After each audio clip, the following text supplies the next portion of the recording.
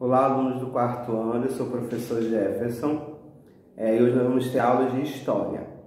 É, só lembrando né, que nós estamos dando continuidade ao nosso conteúdo, utilizando o nosso livro didático, que é para justamente nós termos essa continuidade dos nossos estudos, ok? Então vamos para mais uma aula de História.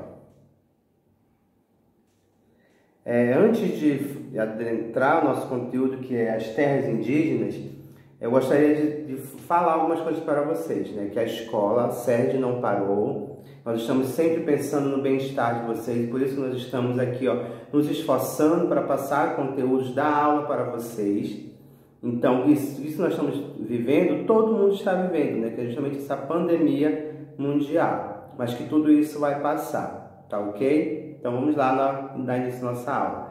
Nós vamos falar de, no livro de história sobre as terras indígenas. Quais são as páginas, professor, que está? Está no livro didático, nas páginas 246, 247 e 248, que é justamente um conteúdo pequeno que nós vamos estar trabalhando, que é esse, mas vamos ter um outro conteúdo também, mas o primeiro é as terras indígenas. Antes de realmente iniciar, eu gostaria que vocês pensassem. É, o que seriam essas terras indígenas que se fala né, no livro de história? Como conteúdo para vocês do quarto ano. É, então vou lá, vou colocar, ler para vocês um lembrete que eu coloquei aqui, que é assim, ó. Apesar de haver áreas de reserva indígenas próximo ou dentro das cidades, a grande maioria das reservas está localizada nas áreas rurais, que é justamente Aí, aí que eu queria falar para vocês, aquilo que eu perguntei. O que seriam essas terras indígenas? As terras indígenas é aquele território onde eles vivem, onde eles convivem diariamente, vivem né, é, diretamente as, a, na sua comunidade indígena, seja ela, que, porque nós sabemos né, que cada é, indígena tem a sua etnia, né? Então, que todos eles vivam lá. Então, essa terra indígena é essa área onde eles convivem. E olha só, uma, uma curiosidade, que essas terras indígenas elas estão aonde? Nas áreas rurais. Lógico que tem centros urbanos, até mesmo em Manaus nós temos aqui, aos redores de Manaus, tem áreas indígenas, terras indígenas. Mas a grande maioria, não somente no Amazonas, mas no país inteiro, ela é em áreas rurais. E nós sabemos que as terras indígenas, nós falamos assim, as terras indígenas, a terra são dos índios, Vou colocar uma pergunta para vocês. Quem vivia antes aqui? Em 1500, quando chegou as primeiras caravelas, não eram os índios? Então eles eram donos dessa terra. Então por isso que o livro de história também retrata isso, né? as terras indígenas, porque isso é histórico. Não é uma coisa inventada, não é uma coisa que está na mídia, ah, porque vão cortar as terras. Não, não é assim. Isso é histórico que nós vamos ver. É justamente a disciplina que nós temos que é história.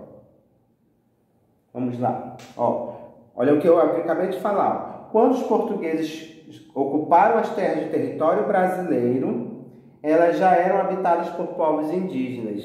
Então, se a terra tem dono, se tem dono ou não tem dono, não, nós estamos falando da questão das terras indígenas.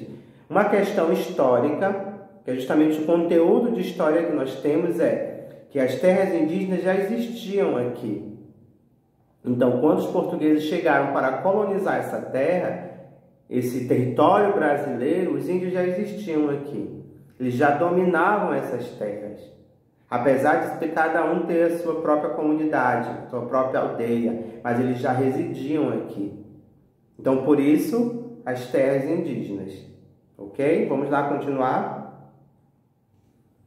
Olha aqui, ó as terras indígenas em 2014, isso, tá? Tem até no livro didático de vocês. Se nós formos analisar o mapa, esses pontinhos verdes é justamente onde tem, são consideradas é, áreas indígenas. Então, se nós formos ver, ó, nosso país é enorme. Nosso país não é um país pequeno. Mas olha só a diferença que tem, ó das ocupações indígenas que tem, tanto nas áreas urbanas como nas rurais. Só que lembrando, a grande maioria está nas áreas rurais. Se nós formos analisar o nosso Amazonas, as áreas urbanas são é, tem Manaus e tem os municípiozinho, mas só que o restante é área rural. Então é onde está localizado essas terras indígenas. Que se nós formos analisar em 2014, olha só, se existe somente esses tipos de, só existe esses indígenas residentes aqui no nosso país, nós não sabemos, né? Podem ser que também não estejam aqui, mas essas aqui são as áreas que são das terras indígenas. Lembrando que isso aqui é uma fonte de 2014 e também tem no livro didático de vocês, que vocês também podem estar analisando o mapa. Uma outra observação, ó. Parte do território brasileiro pertence por direito a esses povos. Por que pertence por direito, professor? Nós também temos, lógico, todos nós temos direito nessa terra. Se nós residimos aqui em Manaus, nós temos direito também nessa terra. Só que, porque por direito eles têm, têm, esse, é, têm esse acesso a essa terra.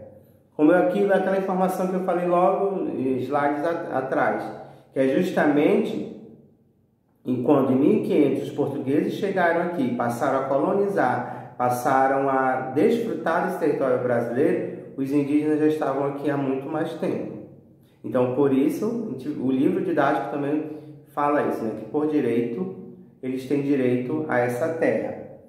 E olha só, aqui também um outro mapa que eu coloquei para vocês estarem observando, que é os povos indígenas na época do descobrimento do Brasil. Isso aqui, ó, justamente que a gente fala, né? que por direito, eles têm direito, porque em, em, em 1500, ó, o mapa todo era ocupado por indígenas. Quais, quais eram essas tribos? A parte laranjada era o Tupi-Guarani, que estavam aqui ó, pelo litoral e aqui também ó, no norte. A parte amarela é, é o G. A parte marrom, não tão grande, era o Zaruaque. A parte azul, os Caribe. A parte rosa, pano, a parte de laje, os tucanos, também é pouco, e a parte é um azulzinho mais escuro, quase verde, os charrua e o verde, que eram outros grupos, né, que não eram ainda reconhecidos ainda. Mas se vocês forem analisar nesse mapa, em 1500, o território todo brasileiro era ocupado por indígenas. Então, por isso que a fala né, diz que por direito eles, lhes pertence essa terra. Porque em 1500 o território brasileiro era todo indígena. Até, lógico, chegado a questão dos portugueses, depois europeus e, e assim por, por diante, que é o Brasil que nós temos hoje, todo miscigenado. Mas que anteriormente a 1500, na verdade até 1500, era originalmente povoado por indígenas, ok? Aí vem uma outra pergunta que eu faço para vocês também pensarem. Já parou para pensar por que é importante reconhecer as terras indígenas? Por que reconhecer essas terras indígenas? É uma pergunta que eu deixo para vocês pensarem. Eu vou falar um pouco aqui para vocês também refletirem, né? Então vamos lá. É importante pensar nessas terras porque por direito eram deles. Não necessariamente, ah, cara, vamos dar todas as nossas terras para os indígenas. Não. Eles têm direito a viver em comunidade do jeito deles, que nós já vimos como é que é viver em comunidade. Foi um assunto de história também que nós já tivemos. Nós sabemos que viver em comunidade é, é certos grupos vivem em comunidade e os indígenas não são diferentes. Então eles precisam ter esse reconhecimento de que eles precisam da terra para morar, é, para cultivar os seus alimentos, né, sua agricultura e N coisas que os indígenas também fazem, e não necessariamente que tudo é dos indígenas. Não, agora nós sabemos que o país é um país enorme, nosso país, e que é um país miscigenado e que todos nós podemos conviver em perfeita harmonia, ok? Aqui eu estou trazendo algumas fotos justamente dessa questão, né, dos indígenas lutando por suas terras, né, que são de protestos, são de, de que eles estão fazem justamente em prol dessa luta pelas suas próprias terras. Aqui é uma foto né, que eles estão em protesto né, pela demora da demarcação das terras. Isso aqui foi é, feito em Brasília. Eles estão protestando justamente né, demarcar essas áreas indígenas. Não necessariamente que o país todo vai ser dividido, não. Eles precisam daquela área e por direito né, que eles se digam que são donos daquela área. Aqui uma outra, né? Tem uma foto né, que a luta continua até o último índio, que é justamente isso que eles querem trazer. Não somente um protesto por protestar, mas um protesto por ter direito à sua terra, ao seu lugar onde morar, onde a sua tribo residir, para que eles possam fazer, né, viver do jeito que eles vivem, né, a sua rotina diária que eles têm. E nós também vamos ter agora um novo conteúdo que é o Brasil dos Engenhos. Está na página 249, tá? No livro didático. Vamos lá.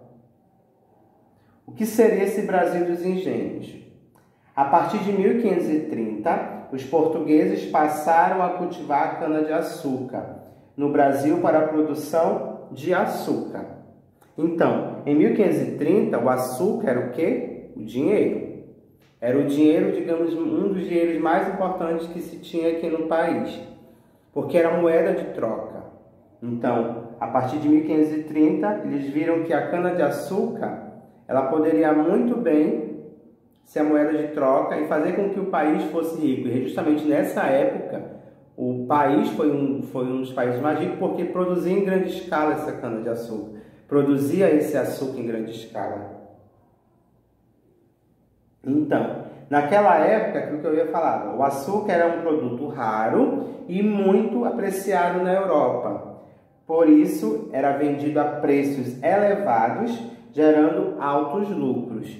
Que é justamente aí que eu já havia falado, que ele era moeda de troca, era o dinheiro da época, vamos dizer assim, e, e ele não era só consumido aqui no país, ele era exportado. Era justamente né, mostrando esse poder que o país tem né, de, de agricultura, principalmente para a época, porque ele se tornou, digamos, um dos produtos mais cobiçados, né? e o Brasil era grande produtor dele. Então, o Brasil dos engenhos. Então, é aqui, aqui é o exemplo de um local né, de produção açucareira, né, que era justamente onde era a cana-de-açúcar se tornava o açúcar. E essa foto já é em 1816. É, nós vemos que era uma coisa muito rudimentar, lógico que para a época que nós temos hoje, a tecnologia muito mais avançada. Mas para a época essa era a tecnologia usada, infelizmente também era usado, que nós vemos na figura, o trabalho escravo, né? Então, por muitos anos o cultivo e o comércio da cana-de-açúcar foi a principal atividade econômica desenvolvida na colônia.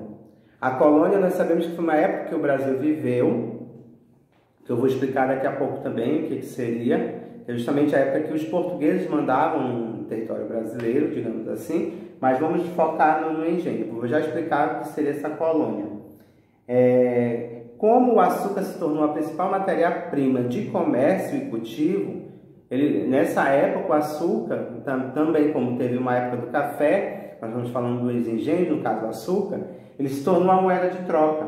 Né? Justamente o que girava a economia nessa época, o que dava dinheiro nessa época era o açúcar. Olha aí, vamos ver o que seria essa colônia. É um território que é ocupado e administrado por outro país. O Brasil, por exemplo, foi colônia de Portugal durante cerca de 300 anos. Então é justamente aí que, que a gente queria falar, porque nessa época em que o Brasil era colonizado, que o Brasil em alguns livros tem até Brasil Colônia. E esse conceito tem também no livro didático de vocês, que vocês podem estar olhando e lendo o texto.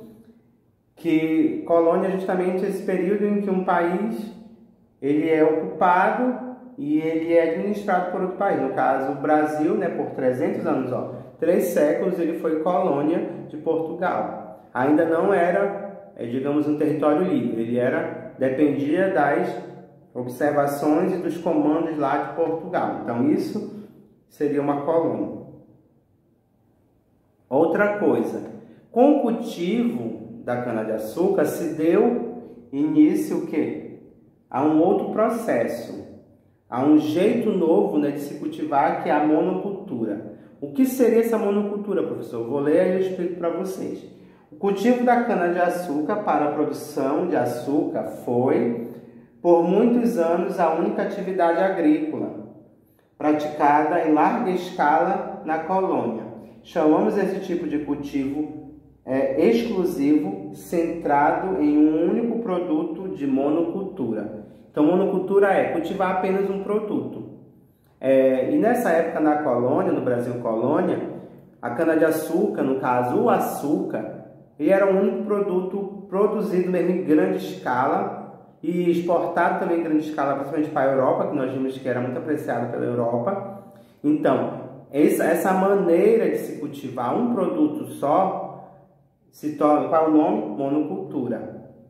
Então, quando, digamos assim, um local é, um local, um estado, um país produz somente aquele, aquele algo, porque mono significa um, né? Significa então que ele só produz aquele produto. Ele não produz outros produtos, ele produz aquele. Nessa época do Brasil colônia, apenas o açúcar. Aí depois veio o café e depois veio outro, e outras outras coisas. Mas na época do Brasil colônia, a cana-de-açúcar era o único produto realmente cultivado porque era um produto que era rentável né, para os senhores lá dos engenhos, dava dinheiro para eles e o açúcar era moeda de troca na época também. Só que é, trabalhar essa monocultura traz alguns desgastes. Vamos lá ver. A prática da monocultura pode gerar vários problemas, como o desgaste do solo e a dependência comercial com outros países. Então, quando se tem a prática da monocultura, porque só se planta aquilo, só se planta aquilo, então o solo só é preparado para um tipo de produto. No caso lá no Brasil Colônia, a cana-de-açúcar. Então, o solo fica desgastado. Então, nem sempre, digamos assim, ele dá uma vez uma, uma produção, da segunda, da terceira, na quarta, talvez o solo já não suporte mais, né? Tem que ter todo um tratamento. E para a época isso talvez nem se pensasse né, em tratar da terra, né? só queriam mesmo lucrar com a cana-de-açúcar. E além disso, a dependência comercial, porque como era muito apreciado na Europa a cana-de-açúcar, o Brasil só era dependente lá da Europa, que no, no caso ainda era Brasil colônia, né? que também era era administrado por um país europeu que era Portugal, aí dependia da Espanha e entre outros. Então, esses dois, digamos assim, dois problemas, né? E além que gera outros, né? Mas eu estou citando apenas dois, que é o desgaste do solo e essa questão de, de ter apenas um, digamos, um comprador, né? Que, que dependia dos países europeus. Então, esse foi o nosso conteúdo de hoje. Agora eu vou fazer um resumão aqui de quais foram os conteúdos que foram as terras indígenas, que é justamente Todo o território brasileiro até 1500 era ocupado pelos indígenas, depois de que foi colonizado. Nós sabemos né, que nós vivemos no nosso país, nós sabemos como ele é. Depois nós vimos a luta dos indígenas por suas terras. Nós sabemos que por direito eles têm direito a essa terra que eles tanto lutam e, e pregam né, para que, que se tenham né, é, é auxílio nessa, nessa luta né, por suas terras. Nós vimos o Brasil dos engenhos, que era justamente essa questão da cana-de-açúcar, que era produzido em grande escala e realmente era o produto mais rentável para o país na época. Nós vimos o que é uma colônia, só relembrando que colônia é um, local que é administrado, é um país é que é administrado por outro país, e o Brasil né, foi Brasil colônia por 300 anos, por três séculos de Portugal. E a monocultura que é o cultivo de apenas um produto. Por exemplo, vou citar um outro exemplo aqui, por exemplo, no, aqui no Amazonas, nós temos, cada cidadezinha tem uma festa, né? festa do abacaxi, festa da mandioca, festa do, do Guaraná, festa do açaí. Então, esses municípios que fazem essas grandes festas somente para, digamos, homenagear esse produto, eles são monocultores, por, monocult, é, utilizam a monocultura. Por quê? Porque eles produzem em grande escala apenas um produto. No caso, lá na Brasil Colônia, era a cana-de-açúcar. Mas em alguns municípios aqui nossos, por exemplo, tem a do Guaraná, que é em Maués, a mandioca, o abacaxi, entre outros. Então, isso é a monocultura. O ato de produzir apenas um produto, né? de produzir, de, de cultivar apenas um produto. Então, é, queridos alunos do quinto, quarto ano, desculpa, do quarto ano A e do quarto ano B, é, esse foi o nosso conteúdo, então eu tenho para falar para vocês que vocês se cuidem mesmo e estudem, né? não somente ficar em casa à toa, não, tem que estudar. Estudar não é somente ver os vi as videoaulas, não é somente é, fazer exercícios, não. É ler um livro, ler os livros paradidáticos, é, fazer leitura de outros livros, ver filmes, ver séries que agreguem conhecimento para vocês. Então, esse foi o nosso conteúdo de hoje. Eu agradeço pela atenção e até a próxima aula. Obrigado!